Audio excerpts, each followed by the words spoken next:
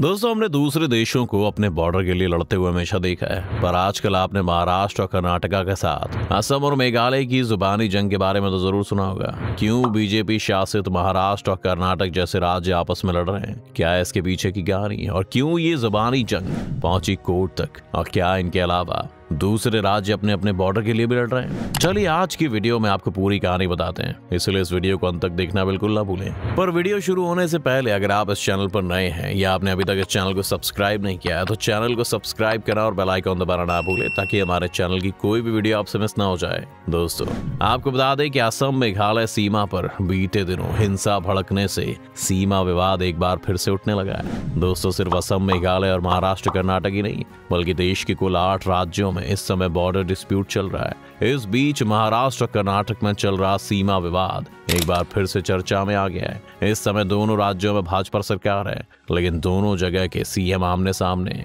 कई एरियाज़ को अपने राज्य की जगह बताने के चलते ये विवाद शुरू हुआ है। दोस्तों, आपको बता दें कि ये बहस महाराष्ट्र और कर्नाटका के बीच पिछले छह दशकों से चल रही है। कर्नाटका के मुख्यमंत्री बसवराज बोम्मई ने महाराष्ट्र के 40 गाँवों पर अपना दावा किया है और इसका जवाब देते हुए महाराष्ट्र के उप मुख्यमंत्री देवेंद्र फडणवीस ने कहा है, महाराष्ट्र का कोई भी गाँव कहीं नहीं जाएगा। अब पूरे मामले में अब महाराष्ट्र के पूर्व मुख्यमंत्री उद्धव ठाकरे की एंट्री हो गई है। आपको बता दें कि उद्धव का कहना है कि मुख्यमंत्री एकनाथ शिंदे में मुंबई के खिलाफ बोलने की हिम्मत नहीं है। उन्होंने कहा है कि क्या हमने अपना साहस खो दिया है? क्योंकि कर्नाटक के सीएम महाराष्ट्र के गाँव पर अपना दावा कर रहे हैं। चलिए दोस्तों, अब हम आपको इस विवाद की जड़, यानी कि जहाँ से इस कहानी की शुरुआत हुई, वो बताते हैं। दरअसल, साल 1956 में भाषा के आधार पर राज्यों को रीऑर्गेनाइज किया गया था। इस दौरान महाराष्ट्र के नेताओं ने मराठी भाषी, बेलगाम, खानापुर निपानी नांदगाड़ और कारवार को महाराष्ट्र में वापस शामिल करने की मांग की थी।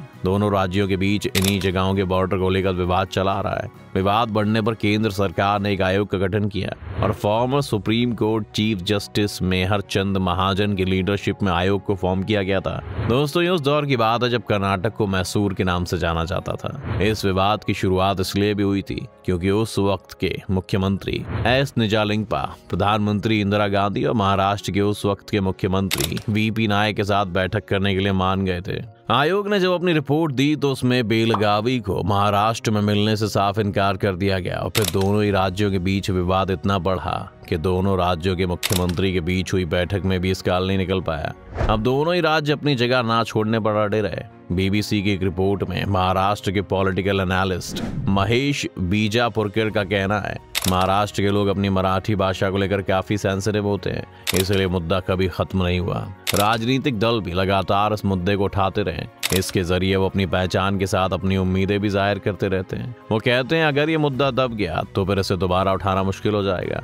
अलग हुए मराठी भाषी इलाकों को वापस महाराष्ट्र में मिलाने के लिए पिछले कई दशकों से कोशिशें जारी हैं। इसके लिए महाराष्ट्र इंटीग्रेशन कमेटी भी बनाई गई। इस समिति को रिप्रेजेंटेटिव लगातार कर्नाटक विधानसभा क्षेत्र में जाते रहे लेकिन पिछले कुछ सालों में इनकी संख्या में कमी आई है। समिति का कहना है कि लोगों से लोकतांत्रिक और बात करने का अधिकार भी छीन ले गए महाराष्ट्र इंटीग्रेशन कमेटी के प्रेसिडेंट दीपल दलवी का कहना है, हम बात मराठी में करना चाहते हैं, लेकिन कन्नड़ में करना होता है।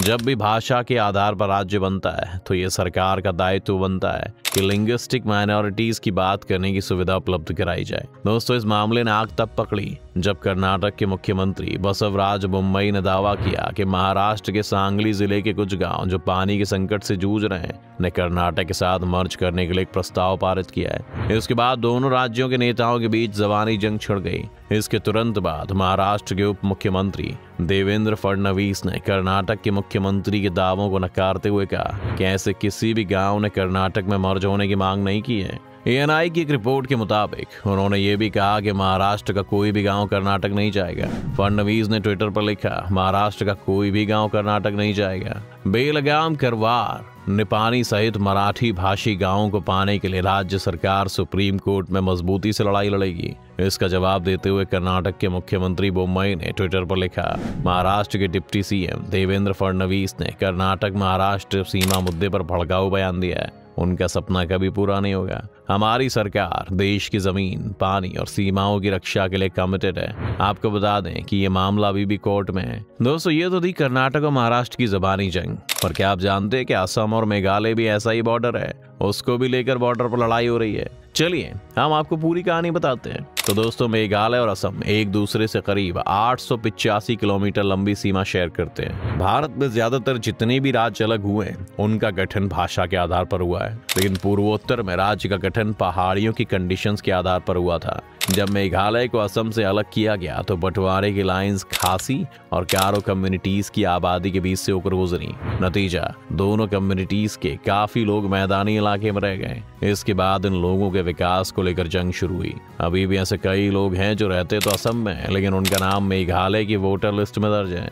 ऐसे कई मुद्दों को लेकर लंगपी में हिंसा हुई। उन्नीस सौ बहत्तर में जब दोनों राज्यों को अलग किया गया तो यहाँ के 12 एरियाज़ में विवाद पैदा हो गया। उन 12 एरियाज़ में ऊपरी Tarabari, Ganjang reserve forest Boklapara, Nongwah Mathamur Hahim, Langpih Boraduar Khanapara Pillangkata Deshdemoria block one and block two Khandoli and Recha Tera शामिल हैं। आपको बता दें कि पिछले साल हिंसा में सात जवानों की मौत हुई थी। असम रिकॉग्निजेशन एक्ट 1971 के तहत असम से मेघालय को अलग किया गया इसी कानून को चुनौती दी गई और विवाद की नींव पड़ी। 50 सालों में चले विवाद की सबसे बड़ी वजह असम के ज़िले कामरूप में लगे लंगपी ज़िले को माना गया। लंगपी कभी कामरूप के ज़िले का हिस्सा हुआ करता था। अब ये भले ही मेघालय का हिस्सा बन गया है, लेकिन असम इसे अभी भी अपना हिस्सा मानता है। और दोस्तों, भले ही ये चार राज्य अपने बॉर्डर की लड़ाई को लेकर सबके सामने आए पर हम आपको बता देते हैं कि भारत के ऐसे दूसरे भी राज्य हैं जो अपने बॉर्डर को लेकर आए दिन लड़ते रहते हैं। चलिए अब इनके बारे में भी जानते हैं। लद्दाख, हिमाचल प्रदेश। दोस्तों, क्या आप जानते थे कि लद्दाख, हिमाचल प्रदेश आपस में अपने बॉर्डर के लिए लड़े?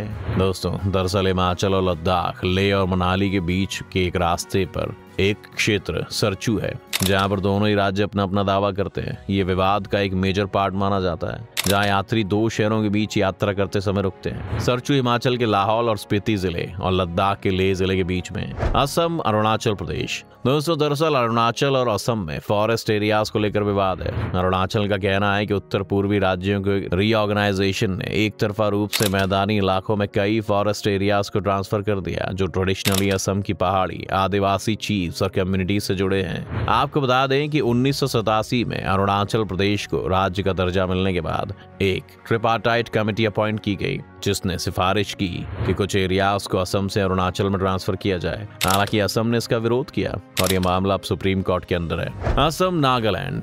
दोस्तों, आपको बता दें कि उत्तर पूर्व में सबसे लंबे समय तक चलने वाला सीमा विवाद असम और नागालैंड के बीच में है, जो उन्नीस में नागालैंड के राज्य बनने के तुरंत बाद ही शुरू हुआ था। उन्नीस सौ बासठ में नागालैंड राज्य अधिनियम में 1925 की नोटिफिकेशन के मुताबिक राज्य की बाउंड्रीज को डिफाइन किया गया था, जब नागा हिल्स अथुएन सांग क्षेत्र को एक नई एडमिनिस्ट्रेटिव यूनिट में इंटीग्रेटेड किया गया। नागालैंड हालाँकि बाउंड्री डिलिनिएशन को स्वीकार नहीं करता है और उसने मांग की है कि नए राज्य में उत्तरी कछार और नागांव जिलों के सभी नागा बाहुल क्षेत्र भी होने चाहिए क्योंकि नागालैंड ने अपनी नोटिफाइड बाउंड्रीज को स्वीकार नहीं किया है। इसलिए असम और नागालैंड के बीच तनाव पैदा होता रहता है और बार बार यहाँ हिंसा होती है। तो दोस्तों, ये थी भारत और उसके राज्यों की बॉर्डर से जुड़ी जंग, जो आज तक नहीं सुलझ पाई है। तो दोस्तों, आज की वीडियो में बस इतना ही। उम्मीद है आपको आज की इस वीडियो से काफ़ी कुछ नया सीखने को मिला होगा। अगर आपको ये वीडियो पसंद आई तो वीडियो को लाइक करें और अगर आप इस चैनल पर नए हैं तो जाने से पहले चैनल को सब्सक्राइब करना भी ना भूलें।